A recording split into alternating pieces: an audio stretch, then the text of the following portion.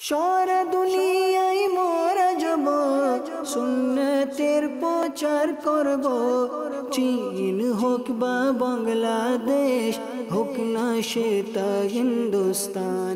সালামু আলাইকুম রহমতুল্লাহি ওয়ালাইকুম আসসালাম রহমতুল্লাহ আশেক আলী বলতেছি আপনার কাছে আমার প্রশ্ন যে ফরজ উলুমের ব্যাখ্যা কেউ যদি জানতে চায় যে আমার উপর কোন কোন বিষয়ে ইলিম অর্জন করা ফরজ, তা অর্জন করার কি পদ্ধতি?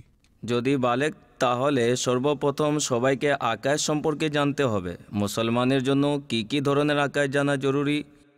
আর কোন কোন আমল করলে বান্দা ইসলাম থেকে বিতাড়িত হয়ে যায়, এরকম জরুরি কথা আকায়দের অন্তর্ভুক্ত। এটা শেখা ফরজ। এমনইভাবে যদি বালেক, তাহলে নামাজ তার উপর ফরজ। এর পর পর গুসুল ফরজ হলে কীভাবে আদায় করবে তা নামাজের শর্ত। আর অজু জানা দরকার, কেন এটা নামাজের চাবি? যদি অজু করতে জানে না বা অজুর মধ্যে ভুল করে থাকে, এমন করে যে অজুই হয় না। তাহলে তো নামাজেই হবে না। এটা শেখা তার জন্য ফরজ। এভাবে সে ব্যবসা করতে চায় বিজনেস করতে চায়, তো বিজনেস কীভাবে হালাল হয়, কীভাবে হারাম হয়, কীভাবে বিনষ্ট হয়, কীভাবে বাতিল হয়, এসব বিষয়ে এর অন্তর্ভুক্ত। তা এর জন্য শেখা জরুরি হয়ে যাবে।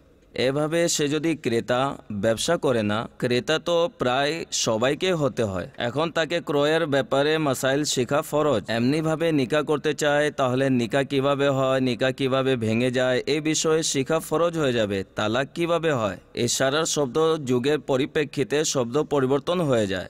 তারপর নিজ নিজ ভাষার শব্দ নিজ নিজ হিসেবে হয়। ইংরেজির শব্দ আলাদা, উর্দুর শব্দ।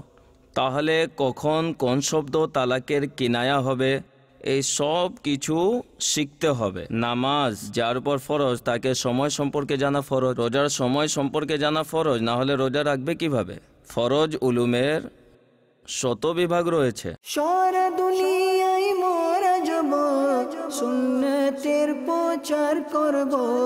চীন হোক বা বাংলাদেশ হোক না সেটা হিন্দুস্তান।